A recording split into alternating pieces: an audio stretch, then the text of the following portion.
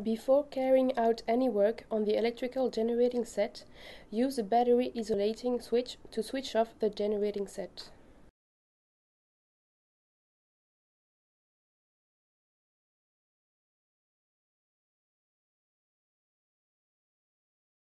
Take the earthing rod located inside the electrical generating set.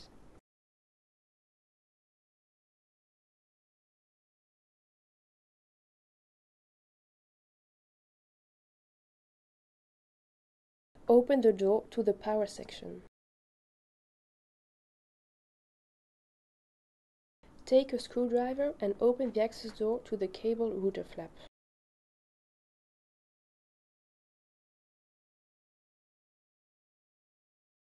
Loosen the four nuts located at the bottom of the power terminal strips.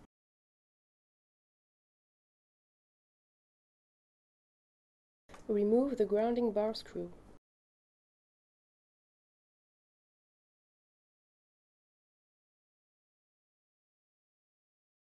Loosen the two knobs located either side of the cable router flap, then slide this towards the outside of the generating set.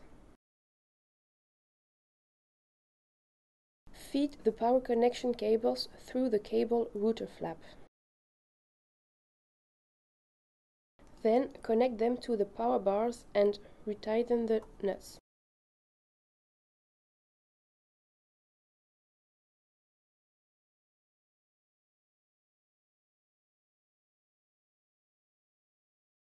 Next, connect the earth cable.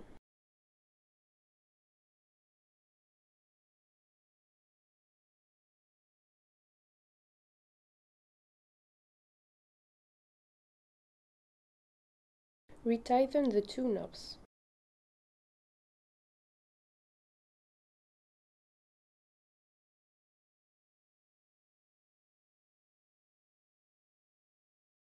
Finally, close the access doors to the power section again.